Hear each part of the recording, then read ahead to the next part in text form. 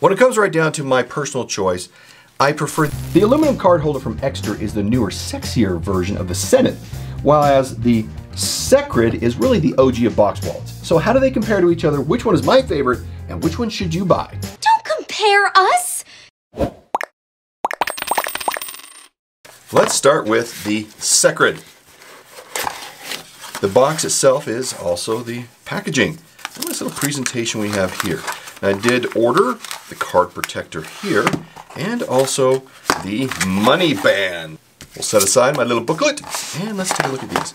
So, hmm, here is the money band. Love this.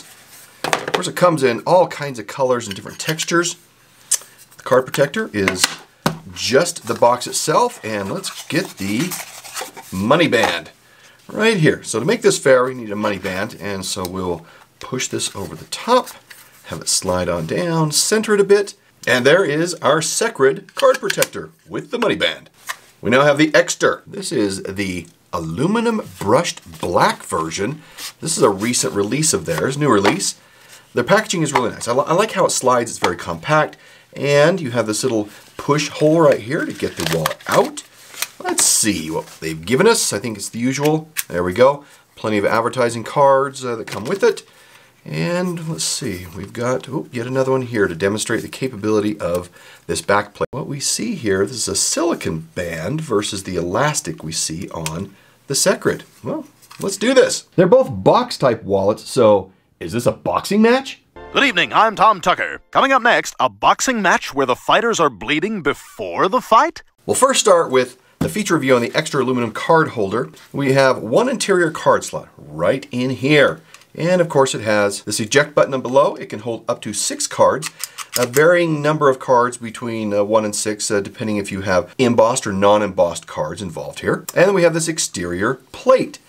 This uh, card plate right here is really nice and it's held in place by this silicon strap that we mentioned. And uh, notice how it has this channel right here. You can see that channel right there. Love that because of course that channels the silicon strap and keeps everything in place so that this back plate isn't shifting around a lot. I don't think it's as, as flexible as the elastic version of this but it gives a great look. It's very clean. And of course this is all RFID by default because it's in a metal and this is aluminum in this particular case it measures 4.2 by 2.5 by 0.4 and it weighs 81 grams or 2.9 ounces. So what is there to like about this Ekster aluminum card holder? Now, I've always really liked the Senate. This is the Senate, which is one of the two originals that Ekster shipped, the Senate and the Parliament. And you'll notice that it has an integrated band with this back plate. And I did a carry test on this. I really like it. Uh, and this, this plate was awesome. This is one of the things I like about this most. And with the new aluminum card holder, they carry over all that functionality, realizing I think they had a winner here. I like the clean lines of this aluminum card protector. And uh, the plate is perfect for stacking all kinds of cards, currency, whatever, and it's a privacy plate at the same time. So let's look at the Secrid card protector with the money band right here. We have this card slot right here, this interior card slot. It can uh, hold up to eight cards, they say, but it's really eight cards plus this back. Six cards, same situation as we saw with the Ekster, and it, uh, it depends on embossed in, and also non-embossed cards. Its ejector button is here on the bottom.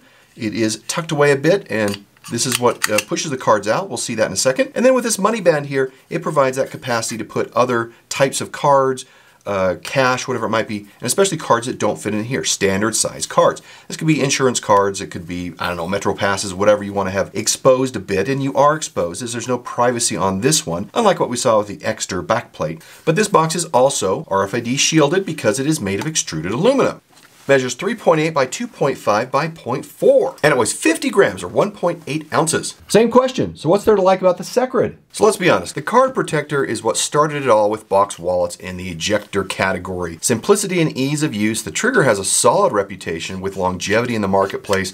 It's constantly updated with features including engineering that continues to uh, be updated based on the learnings they get from their customers and in the marketplace. And I like this band. I like Elastic a little bit more. It is easier to work with. There's a lot more flex than we see with the silicon band, and I think this works just fine. So let's start with the card and cash insertion test.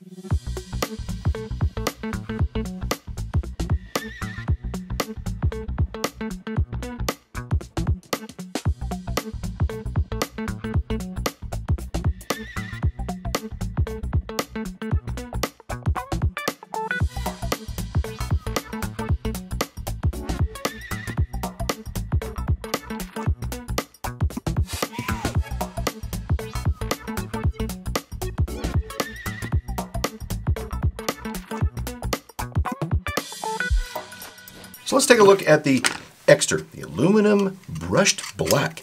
This is designed in, in, the Netherlands and it's made in China. It's made from a 6061 T6 aluminum and you will notice that there's not very much inserted into this. All the mechanics uh, come in here in this insert in the bottom. You can see this seam right here that comes about. And this is where the, of course, button and the whole lifter mechanism inserts into the bottom here.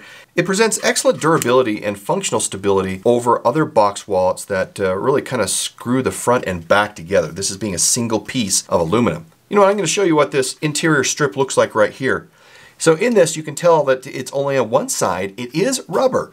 And it really provides friction to prevent cards from flying out when you invoke the button and you start, you know, having them extract. Now let's take a look at the Secrid card holder. This is designed and made in the Netherlands, and it is from an aluminum billet, which has been extruded to create the box. And there's a small video you can watch on their website about that. It is quite fascinating. The interior walls, uh, there is an insert that goes down both sides, and an, ins an insert that comes up from the bottom that maintains the trigger and the lifter mechanism. Now let's take a look at its friction. It's two felt pads, one on each side, and with that, that again helps stop cards from, you know, ejecting themselves, but these felt ones will wear down over time, I would suspect, but however, they can be replaced.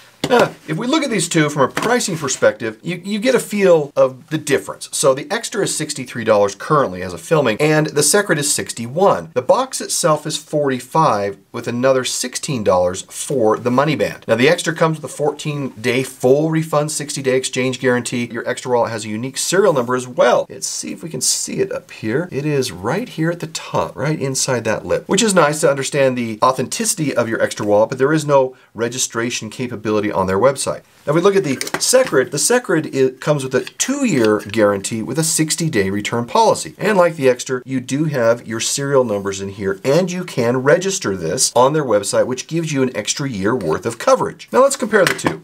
That's kind of what we've been waiting for here. As you can tell, we're going to give this just a little bit of give down here because of the lifter mechanism that pokes out here versus the Ekster, but the Ekster is definitely a little taller. And that is because the incorporation of the trigger mechanism that we see in here. The sweeper mechanism on both on the interior really resemble each other, but the implementation is different due to the trigger configuration. Now, I prefer the Secrid's trigger mechanism due to its protected stance when it's not in use. I mean, it could be caught and pulled that way, uh, no different than the Ekster that could be caught and ripped either way. When it comes right down to my personal choice, I prefer the Ekster due to this privacy plate right here. It's also a nice organizational method uh, for other additional items that you wouldn't be able to carry in the box. I also like the rubber friction pad that's on the interior of the Ekster better than the felt pads that we see on the Secrid. However, I do like the Secrid's size. It's a little bit shorter, and I do like their trigger mechanism uh, quite a bit more than I do the Eksters. But regardless, the materials on both of these are excellent. I, I'd carry both, but my favorite is probably the Ekster really because of this back plate. If you like this video, then watch this one next right here. Both products are excellent, and my recommendation is to choose one that fits your lifestyle the best. I know, total cop out. We'll see you in the next review. Bye.